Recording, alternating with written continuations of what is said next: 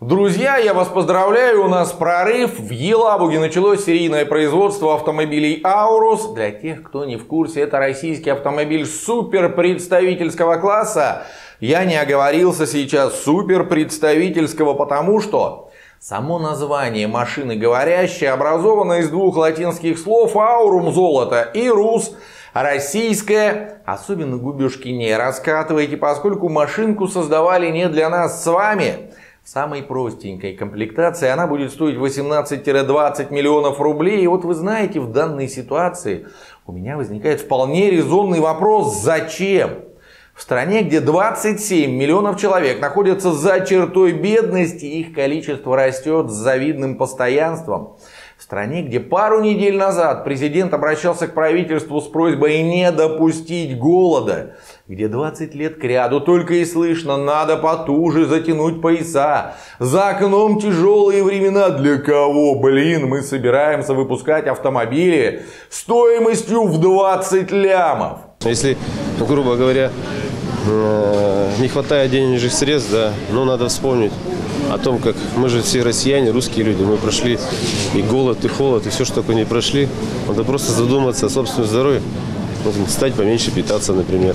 Именно, подозреваю, что снова для них, ага, нам надо поменьше питаться, а им на лимузинах рассекать. Порадовал еще вот какой момент, цитирую бизнес FM. Президент уверен, что серийный выпуск Аурус усилит присутствие автомобилей из России на мировом рынке. Что сделает? Усилит. А у нас на мировом рынке какие-то позиции были до сегодняшнего дня. Ну, хоть сколько-нибудь заметный. И второй момент. Стесняюсь спросить, опираясь на какие показатели Владимир Владимирович такой вывод сделал. Насколько мне известно, машин вот этих вот на данный момент произведено всего несколько штук, чуть ли не по одной каждой модели. Продавать их тоже еще никто не пробовал. Уже произведенные авто были переданы Федеральной службе охраны. То есть это пока единственная сделка, да и та условная. Государственная компания «Нами», которая делает Аурусы, собрала и продала несколько автомобилей государственной структуре ФСО. Это что, повод говорить о каком-то бизнес-проекте в плане продаж? Бюджетные деньги просто переложили из одного кармана в другой, вот и все. Они на рынок с этим собираются выходить. Слушайте, в России нормальные экономисты и менеджеры в правительстве, в Кремле вообще имеются. Начинаем.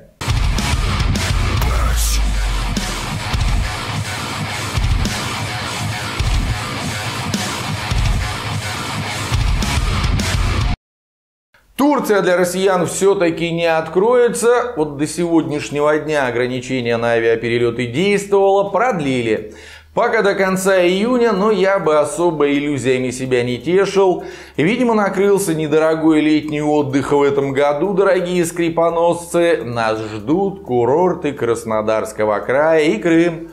По заоблачным расценкам, причем это не я придумал, уже даже пропагандисты сокрушаются, что на российском юге какой-то трэш происходит. Есть э, стандарт комфорт моря 62 300 за три ночи. Есть свободные номера категории премиум.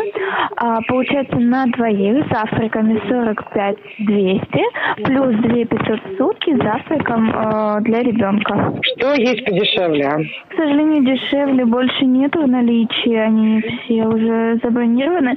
Да, открылись некоторые европейские курорты, но там та же история. Во-первых, цены кусаются и даже очень, а во-вторых, и виза туда нужна, которую не так-то просто получить. К тому же виза это тоже деньги от 70 до 150 евро в среднем. Вообще, вы знаете, как по мне, вся эта турецкая история очень здорово воняет очередными политическими разборками.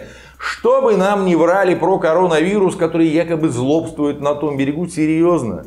Ну смешно же, честное слово.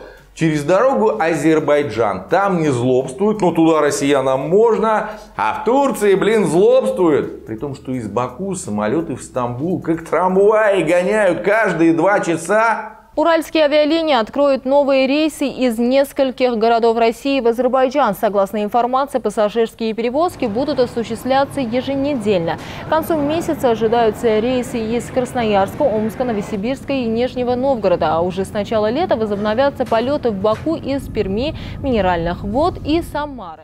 Впрочем, именно вот так, через Баку, через Кишинев, через Ереван, до недавнего времени через Минск, наши с вами соотечественники летали и летают в эту Турцию. Ну, потому что а куда деваться?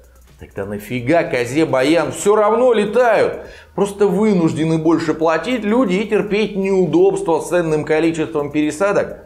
Я, вы знаете, не устану повторять, наши чиновники это самые главные наши враги.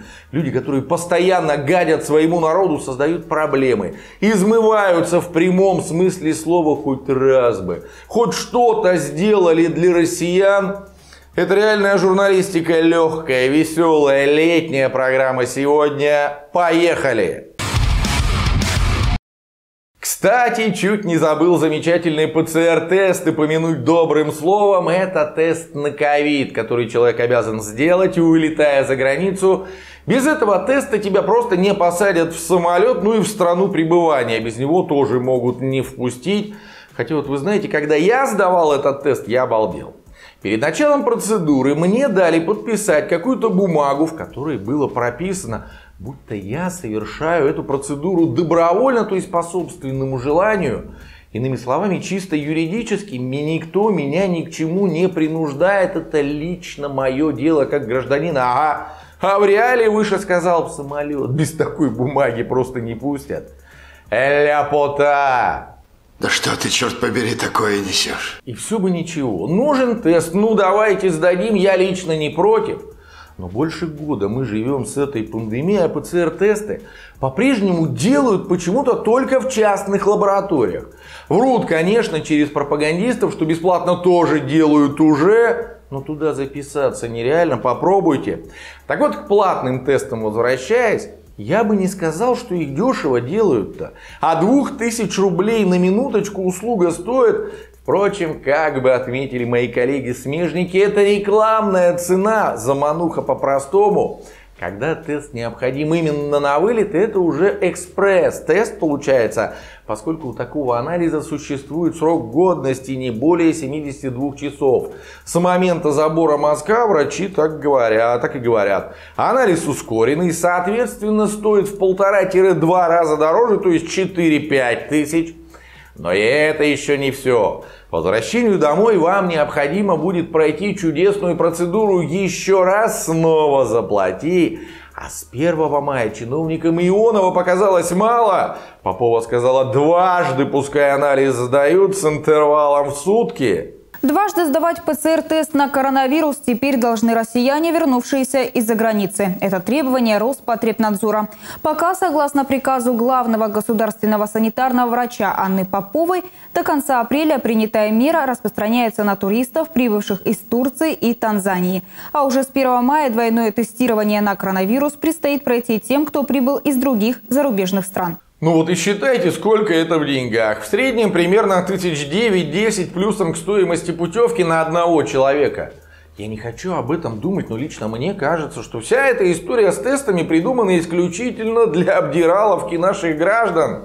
Чур меня, чур. К тому же они все равно ничего не дают в смысле тесты. Тебя точно так же заставляют надевать маску и в аэропорту, и в самолете затем. Я пытался задать вопрос, мол, зачем, если у каждого из нас есть бумага. О том, что мы здоровы, мне объяснили, данный тест не является стопроцентной гарантией. Ух ты! Какая прелесть! Десятку в общей сложности выложи. Но это не гарантия. За что заплатил тогда? Но еще смешнее другое. Ребят, Среди вас есть явно кто-то, кто все-таки привился, начинаете громко хохотать, потому что, как выяснилось, оно тоже не панацея. Вам, как и мне, придется сдавать этот ПЦР-тест перед вылетом и по прилету точно так же и за те же деньги. Маска также обязательно, вакцина ничего не гарантирует. Почему я не удивляюсь, не знаете? А вот как раз и пример подвезли. Сука! Топил на протяжении года за вашу вакцину. И факт моей болезни – это невероятный удар по вообще всей вакцинации в нашей стране. Именно. Пропагандист Красовский топил-топил за эту вакцину, потом еще и привился спутником ВИ. и заболел. Сейчас сидит дома, ведет ковидный дневничок, хотя вы знаете, у меня и без Красовского к той прививочной кампании большого доверия не было, ну хотя бы потому, что слишком уж агрессивно навяливают данную процедуру из каждого утюга. Сходите уколитесь по всем каналам, по всем радиостанциям, даже в кино перед началом сеанса я просто не помню такой вот мощной агитации, ей-богу. А ведь мы с вами всякое переживали и птичий, и свиной грипп, и ящур. Вспоминается, даже было подозрение на вспышку сибирской язвы в нескольких регионах. И второй момент, который меня ну еще больше отталкивает, знаете, когда я вижу такие вот кадры, сейчас покажу, зритель прислал, мне вообще никаких прививок становится не нужно. Внимание. Гляньте на этот цирк. Вакцинация от COVID-19. Блять, этот приемный цирк просто. Они уже не знают, как им побыстрее истребить население. Они уже, получается, мобильные пункты развернули. Гляньте, возле торговых площадей. Это просто какой-то пиздец. У меня других слов нету. Что это? Какой-то грязный, ржавый автобус, неизвестно каких бомжей, спидоносцев в нем вчера возили, а сейчас нас уговаривают, позаботьтесь о своем здоровье, ширнитесь здесь. Вот в этой помойке, что ли? Да я там только лишние заразы нацепляю. Это что такое? Голосуем на пеньках, лечимся на лавочках или там на грязном полу. Помните, показывал как-то старушку в больнице, которая на полу валялась. Сейчас вот прививаться заставляют чуть ли не в мусорном баке. Ну давайте дальше пойдем. Будем колоть всех одним шприцем из-под какого-нибудь сифилитика. Киселев расскажет с голубого экрана, мол, так даже лучше антитела вырабатываются. Я все понимаю. Наши чинуши уже долгие годы живут отчетами, им жизненно необходимо отчитаться наверху, что вакцинирование в этом конкретном регионе или в этом конкретном городе идет полным ходом. Ну, можно как-то побольше уважения к людям, а?